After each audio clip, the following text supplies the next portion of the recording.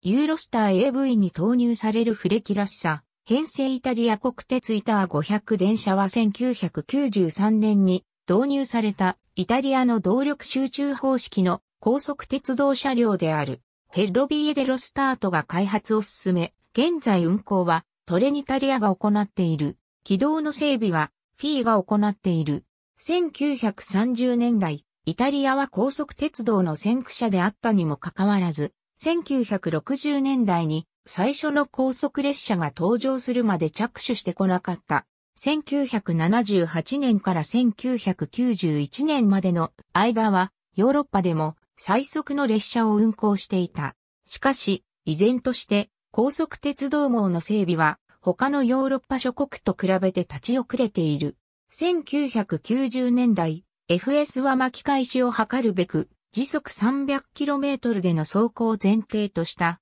高速鉄道網の整備に取り掛かった。それに伴い、それまでの板は4億5046万480シリーズでは、時速 250km 以上の速度は出せないため、それらに代わる、振り子式ではない高速新線上で、主に使用することを目的とした列車が開発された。試作車である板500、X 板 500X の運転席1988年に最初の試作車である板 500X と呼ばれる車両が登場した。ニックネームはレモであった。ディレッテ島で試験され、時速 319km の速度を記録した。1990年には2台の板 500Y と呼ばれる第一次量産車が納車され、1995年まで試験が行われた。商業運行は1995年から1997年にかけて板500で開始された。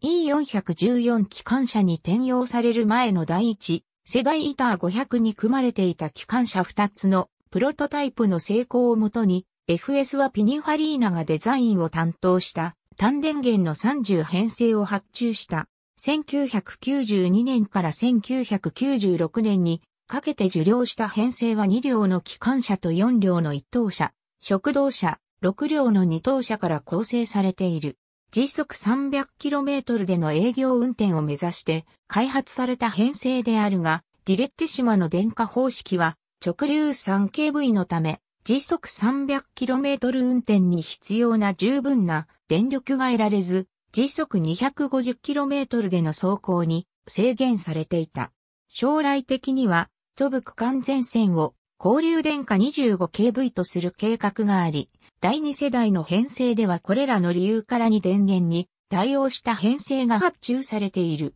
第1世代の編成に組まれていた機関車は2006年から2008年にかけて順次編成から外され、第2世代の機関車にとって変わられている。第1世代の車両は E414 機関車として通常のインターシティの普通客車の前後に挟んで時速 200km でユーロスターシティ等の列車で運行されている。中間部の客車は新製された2電源対応の機関車と組まれ、ユーロスターイタリアとして、トブなどの高速新線に投入されており、キュージミラノ、ミラノローマサレルノベネツィア、ベネツィアローマなどで運行されている。2008年より第2世代の編成には順次、リニューアル工事が施行されている。同社の会議室には、沖電気工業との協力開発で、岡村製作所が納入したミーティングチェアが採用されている。工事が済んだ編成には、フレキラッサの愛称が与えられており、